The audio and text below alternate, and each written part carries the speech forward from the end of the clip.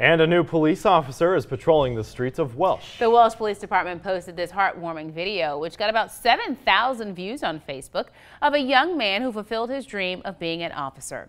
Danielle Garcia got to talk to that young man on why he says being an officer is the only job for him. Well, For nine-year-old Josh Fruge, cool handcuffs. being a police officer is a dream come true. Because doing arrests and chasing people, I like to do. You can tell sirens and the sirens are fun to listen to.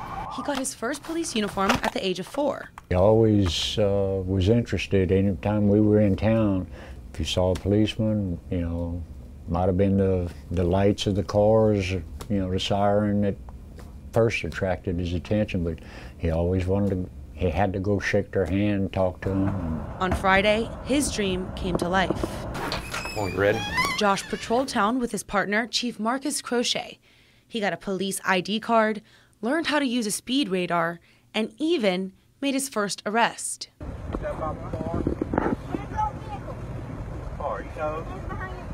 What was your favorite part about being on the job? To be with my favorite partner, Marcus. He took control of the whole thing, and uh, you know, to my surprise, he knew exactly what was what to be said and what was going on, and uh, read them their rights. And a very knowledgeable young man. He still has a few more years before he can officially become a full time police officer.